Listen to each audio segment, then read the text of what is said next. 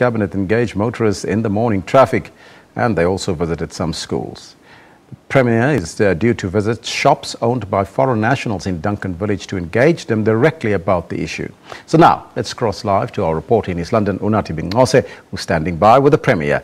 Unathi, a very good morning to you and uh, welcome.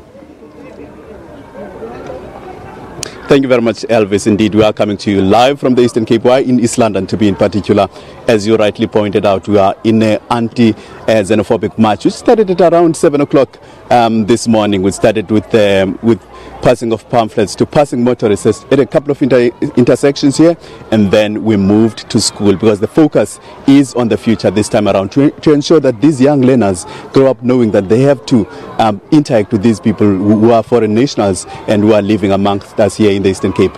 And um, the Eastern Cape is one of those provinces, unfortunately, that, is, that have taken part uh, in these xenophobic uh, um, attacks with the incident that happened um, in Gala, I think it was uh, last week. Uh, but the, the Premier of the province is not taking any chances. They have embarked on a week-long program that started yesterday and is expected to continue um, up until Friday. They are here in East London today to sensitize the people of, of, of this area not to get involved in these attacks and of course to encourage them to continue living with these foreigners the way they've always lived with them. I mean even back in 2008 when these sporadic attacks on foreign nationals started, even here in the Eastern Cape, East London thankfully was not part of that. So the Premier is here today to encourage the people of East London to live in harmony with these people. However, we are now joined by him uh, to speak more about what is happening here. A very good morning to you, Premier, and um, warm welcome to, to AM News. I'm sure you must be encouraged uh, with the kind of reception you are getting here.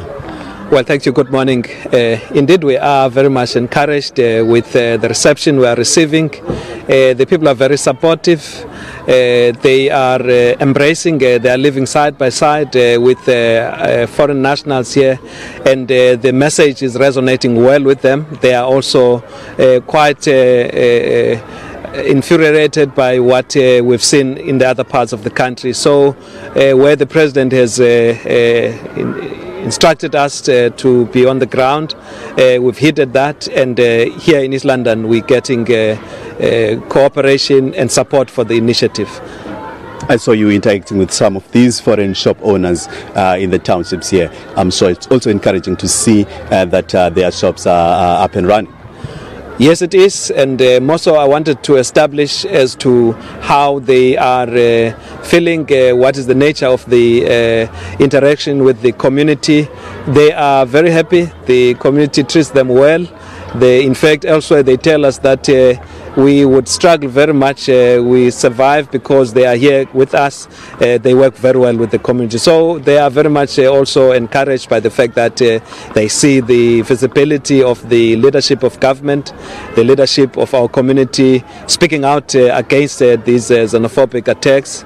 we've also been interacting with their organized formations within the province and we're looking forward to working continuously with them so that we really make sure that in the province we don't have any such outbreaks again. Lastly, with all this harmonious uh, relationship between foreigners and uh, locals here in, in, in, the Eastern Cape, there is that unfortunate incident that happened that happened in Gala last week. What's the feedback you're getting from there? Well, uh, again, uh, it's a very specific matter that was precipitated by a certain occurrence uh, for which uh, those that uh, were involved in uh, otherwise what was a criminal activity have appeared in court. in fact, an unfortunate incident occurred where there was a murder. allegedly by one of the foreign nationals. that matter is now in court. The community was quite incensed at that, and of course, others uh, sought uh, to climb into what's happening nationally, but it's since been contained. Uh, the mayor, working together with the leadership of the structures there, the church, have really quietened the situation. It's under control, and we will be going there again as the executive council just to make sure that we leave nothing to chance. The community is very much uh, alert and uh, to this, uh, and they are responding positively to the campaign of no violence against those of uh, foreign origins. Right, and uh, the foreigners, are they back in, uh, running their businesses in Kala from the information you're getting? From what I have, uh, they are back at work and uh, they, there is a sense of calm in the environment.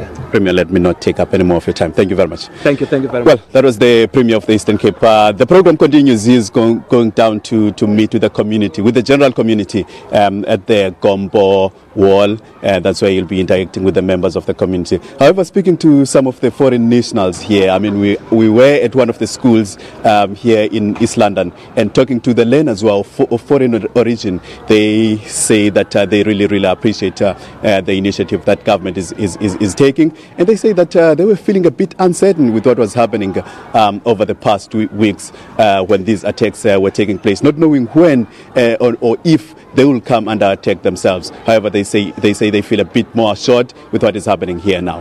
Uh, with that, let's hand back to you guys in Joburg. Thank you, Nati Binqose in the Eastern Cape there.